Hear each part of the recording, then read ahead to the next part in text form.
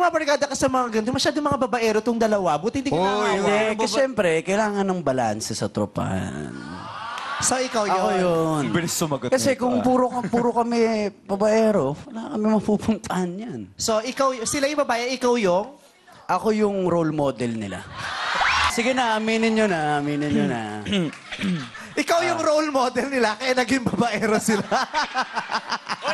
Wala kami sinasabi ah. Wala, wala. Bro, wala. oy, Maayos to, maayos to. so, wow, taray, sige. Bigyan lang ako 150 mamaya. So, ano yung, sabi niya kasi siya ang role model niyo, Oo. ano yung pinakamagandang impluensya sa inyo ni DJ? Nako.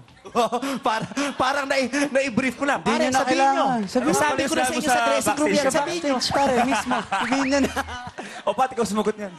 Hindi ako Ano na-brief eh. magandang impluensya sa inyo DJ? Kasi sabi niya siya daw ang ano eh, ang role model ninyo. Ah, so gusto mo ng ano, kiligin ka bro, ganun. Tribute, Ah, gano'n. sige, sige. Hindi, ito, seri- serious talk to ha. Si DJ siguro sa ang napapakita niya sa amin ni Pat is to always stay humble. Despite na yung success na nararating niya. Diyan ka pa rin dapat keep your feet on the ground. Kasi ako, lalo na Sa, mga, sa posing na ganyan lagi ni, ni Patrick, yung pa yung stay humble.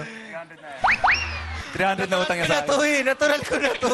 Tinawag niyo na ako yung may mayabang. tinuro mong humility sa kanya, Daniel.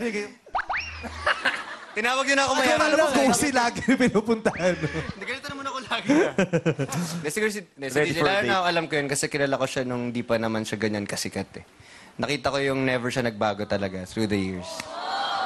Okay na, bro. Oh. Sweet Totoo natin. yan, tatlo. totoo yan, totoo yan. In fact, mas lalong naging sweet sa kaibigan at sa mga mahal niya sa buhay si DJ. Mas kind to everyone. Mas, oo, mas, mas malambing ka. Yung iba yung mayabang siya, hindi. Lalo siyang nagiging humble. Hindi nga mayabang yun, wala kang ugali yan, ano? Oo. Walang ugali. Kaya yung mga bakla galit Boring. Na, yung mga bakla galit na galit sa akin kasi si DJ pinapalayas ko sa dressing room. Kasi yung mga bakla, dito na lang siya. Bakla, doon Oh, ang mga bakla kayong hindi naman. Kasi nga mabait siya at, at saka ano siya yung deads lang siya. Yayakapin niya mga bakla pag darating magpapaalam, haharutin niya, chichikahin niya. Lodi yan, no? Yung dalawa ni Robin, ang bait-bait na pare.